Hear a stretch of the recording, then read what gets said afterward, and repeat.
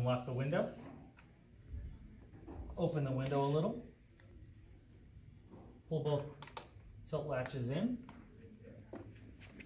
Tilt the sash towards you. Do not let it fall. Do not close the sash all the way. Lower it. There is a lift rail on the screen. Push down and in towards you to remove the screen.